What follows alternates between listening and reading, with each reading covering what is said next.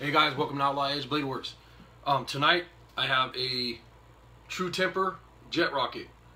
I believe is what it's called, Jet Rocket. And it's a small camp hatchet. And what I wanted to talk about is uh, these uh, small hatchets. I see people buying them all the time and they have the cheap ones at Walmart and whatever. And then they have this brand here and there's, I've seen about four or five different brands.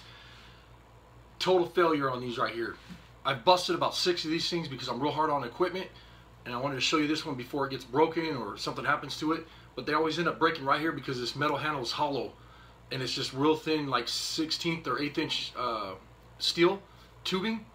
And it's just really poorly designed. And I have nothing against True Temper but I do have something against the hollow handle metal axes and hatchets and whatever. I don't know if I've ever seen an axe like that but the hatchets like this little camp hatchets they're complete junk and that's just my opinion. Um, you know, I'm kind of doing a review or whatever on this, and it's you know I don't want to hurt anybody's feelings if you have one of these, because I think it's a great little uh, hatchet.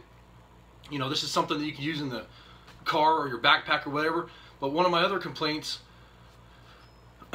um, I have some wood-handled uh, hatchets like this, and they're they're not light, but they're not this heavy. This thing having a steel handle, the way it does, it's just super heavy.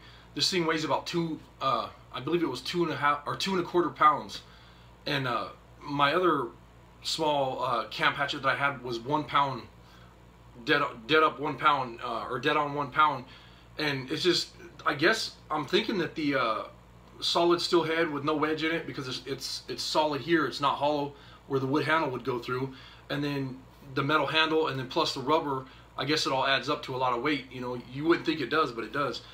Um, but anyways, I just wanted to share that with you guys. I appreciate you uh, supporting me and uh, watching my channel. And uh, if you get a chance, check out my girlfriend's website, mnoutlaw.custom.com. Later.